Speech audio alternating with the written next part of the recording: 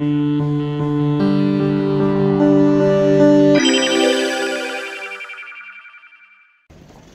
أعطى السيد سمير نفلة والي ولاية أم البواقي بمعية السيد رئيس المجلس الشعبي الولائي وبحضور مدير التربية السلطات الأمنية العسكرية وكذا الإدارية إشارة انطلاق امتحان شهادة البكالوريا دورة جوان 2023 وهذا من مركز الإجراء الإخوة معرف ببلدية أم البواقي.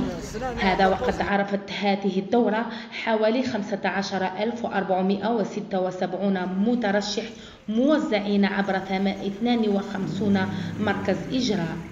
السيد سمير نفلا والي ولاية أم البواقي وخلال إشرافه على الانطلاق الرسمي لامتحان شهادة البكالوريا تمنى التوفيق والسداد لكل الممتحنين سائلا المولى العلي القدير لهم النجاح وتحقيق أعلى المراتب. الديوان والأمانة العامة وكذلك تنصيب لجنة ولائية لمتابعة كل كل الهياكل والمنشآت الإدارية والتربوية الموجودة على مستوى الولاية. أمكننا من إعادة بعض الكثير من المشاريع وسترى النور إن شاء الله في الدخول المدرسي المقبل.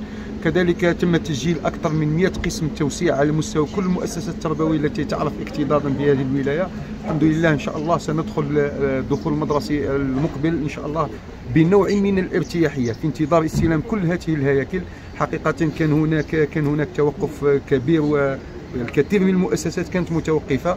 وهو شيء يعني يؤسف له ولكن الحمد لله بعد إعادة بعد كل هذه المشاريع إن شاء الله هناك سبق صحفي إذا أعلنه اليوم. هناك لجنة من البرلمان ستحل على مستوى ولايتنا يوم الاثنين مساء وستقوم بعمل جبار لتعاين كل القطاعات على مستوى التعليم العالي على مستوى قطاع التربية على مستوى التكوين المهني وكذلك على مستوى قطاع الشؤون الدينية والأوقاف.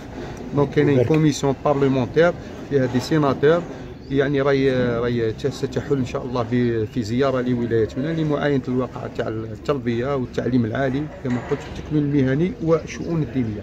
وهي فرصة مناسبة لطرح أهم الانشغالات والمشاكل التي تعرفها ولايتنا وكذلك الإنجازات التي حققت في هذه الولاية.